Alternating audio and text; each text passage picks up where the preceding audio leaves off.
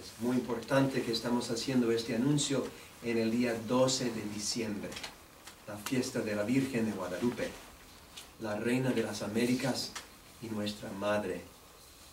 Yo confío en su apoyo espiritual, también en la protección de San Miguel Arcángel, nuestro santo patrón.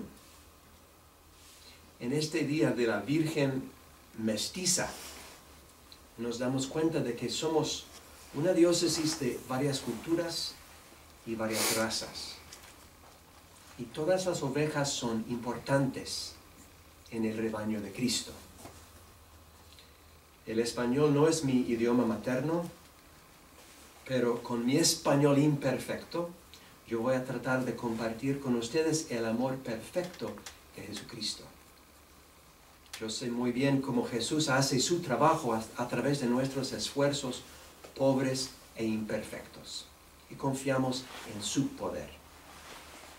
Somos católicos y la palabra católica significa universal. Eso quiere decir que la iglesia es de todos nosotros.